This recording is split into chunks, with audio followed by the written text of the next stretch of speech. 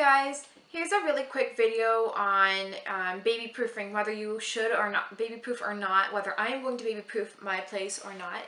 Um, but before I started, um, I'm just going to answer, kind of answer the question, should you baby proof your house or not? Now a lot of people will be like, oh, this is common sense. Obviously you should, um, because it's safer for the baby, which is definitely true. Um, you know, babies, especially once they start crawling and walking, can get into so much trouble and really hurt themselves and things like that. And you just want to make sure that, you know, your place is safe for them. Now, with that being said, it doesn't mean that you have to. Um, it doesn't mean that your baby is going to get severely hurt if you don't. It just means you're going to have to watch them a lot more. Um, so really like whether you should baby proof or not is really like entirely up to you. A lot of people will be so like coming down hard on you if you don't um, but like it is your decision and if you don't feel like um, you know covering up every little thing in your house then you don't have to. Um, or you could do a little bit you know just the basic things. Um, but yeah so I hope that kind of answer, answered the question there but um, the next thing I'm going to go into is whether or not I am going to baby proof my house um, so I am not now I know there's probably like millions of people out there that are like freaking out right now and like all that kind of stuff, but like the way I see it is that first of all, like um, I'm talking about this topic now because John crawls everywhere and he's getting into everything already. So I thought I would just bring this up. Um, but yeah, like first of all, the way I see it is that, you know, like obviously I'm gonna have a, like the main things like baby gates because I don't want him going down the stairs or things like that.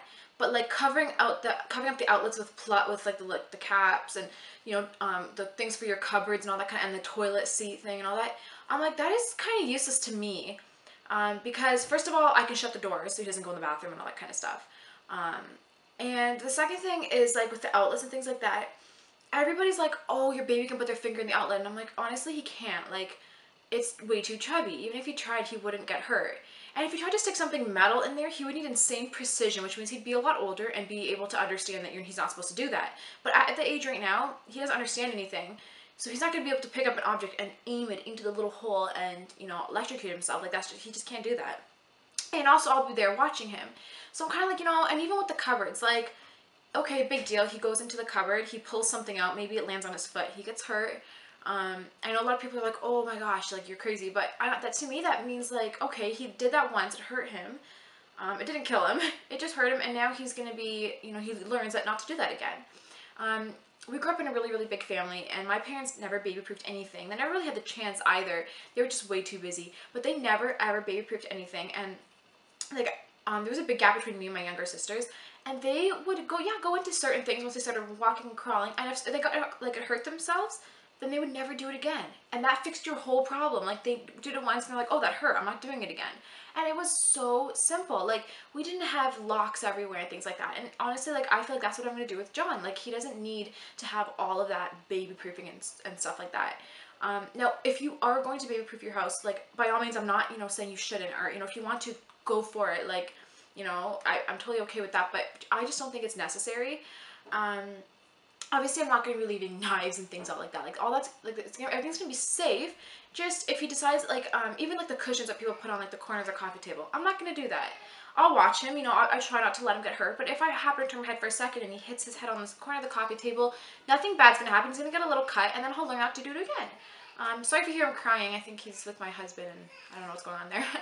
but, um, yeah, so that was pretty much, you know, like, um, kind of how I've been feeling about baby proofing. Um, I just don't think it's that necessary. Um, but that's just me. And, you know, I might put some scrunchies on, like, the cupboards and things like that to keep them shut. But I'm not going to go all out. If, if he's going to get hurt, he's going to learn not to do it again. And obviously, I don't want him to get hurt. Like, I'm going to do everything in my power that he doesn't. But if, every baby, at some point, no matter what you do and how much you watch him, will get hurt. And you can't avoid it. So, at least he'll be learning. And, you know, it's even good for them to go into cupboards and pick things out. That's exploring. That's They're learning through that, which I, I encourage. Um, I'm not going to be like, no, you can't go in the cupboards, you can't go here, because then they're not going to learn, you know, experience and be curious, you know? Experience things and be curious. So, anyways, that's just my opinion on it. Um, I hope you don't hate me. But yeah, thank you so much for watching this video, and I will talk to you in my next one. Bye!